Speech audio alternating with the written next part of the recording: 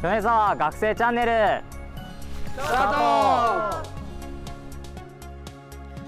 米沢学生チャンネルは米沢で生活する学生の皆さんを応援するコーナー。充実した学生生活を送るために役立つ情報満載です。情報を届けてくれるリポーターは現役の学生さんが務めてくれますよ。今回のリポーターはこちらの方々。東祭実行委員会です。よろしくお願いします。よろしくお願いします。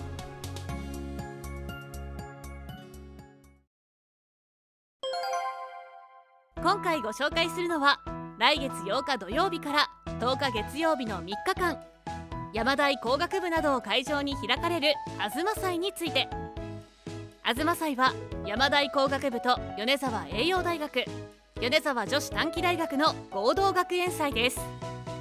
例年模擬店やステージライブなどで盛り上がりを見せていますが去年一昨年は新型コロナの影響で中止となってしまいました。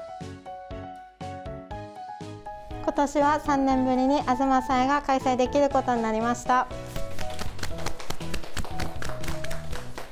私たち実行委員が今年のイベントの一押しの企画をご紹介しますおすすめ企画一つ目は米沢ショーケースです。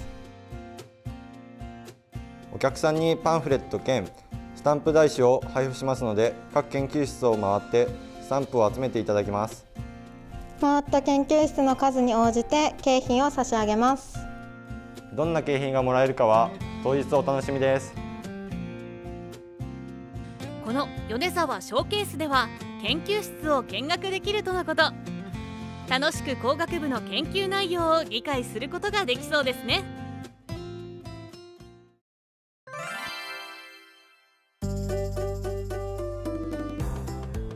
続いて紹介するのはゲーム企画「トイ・ストーリー」です。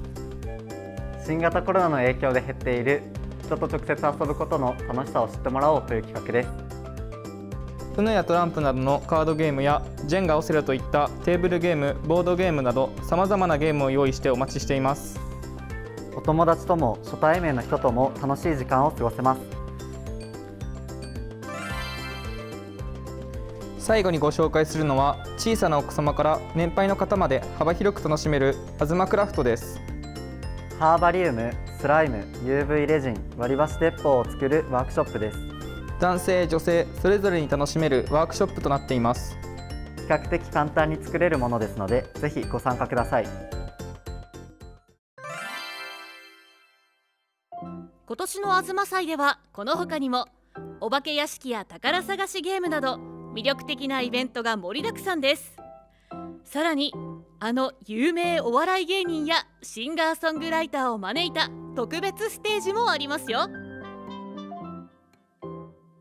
学生はもちろん地域の皆様にも楽しんでいただけるよう実行委員会一丸となって準備を進めています。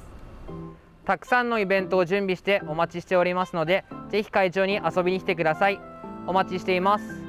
それでは次回も。お楽しみに。